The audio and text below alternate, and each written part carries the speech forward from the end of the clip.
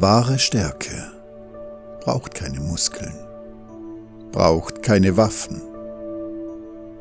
Sie kommt von innen, geht trotz der Ängste mutig voran, lacht unter Tränen,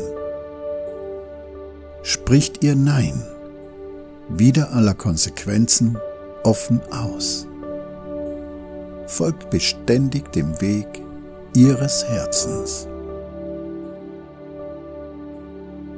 Wahrhaftig schön macht nicht das Make-up, nicht die blendende Fassade. Echte Schönheit entspringt dem Herzen. Liebt ihren Nächsten, lebt Empathie und Mitgefühl, ist ehrlich, echt, authentisch, eckig, kantig sich offen, verletzlich zeigend. Wirklich recht hat nicht wer laut brüllt, wer die Ellbogen dafür braucht.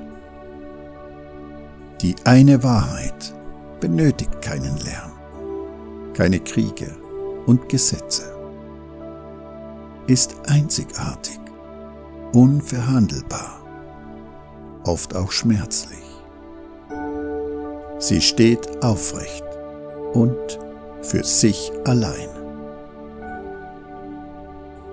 Wirklich souverän ist nicht der Eigentümer eines Schriftstücks oder wer der Erlaubnis anderer dafür bedarf. Souveränität steht für sich ein, in Eigenverantwortung überwindet das geistige Gefängnis und wagt den freien Fall mit allen Konsequenzen in die wahre Freiheit. Wahre Größe braucht keine gesellschaftliche Stellung, keine Bühne und kein Prestige. Wer wieder aufsteht, bedingungslos liebt, uneigennützig gibt, wer zu sich steht und an sich glaubt, sich selbst vertraut, wer weitergeht den Weg des Menschseins und vergibt, demütig, friedlich, zerbrechlich, verletzlich, und aufrecht zugleich.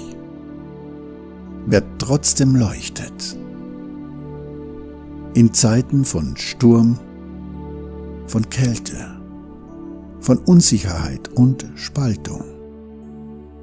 Wer so ist, wie Gott ihn gemeint hat, und sie antritt, diese einzigartige Reise zu sich selbst ist wahrlich groß.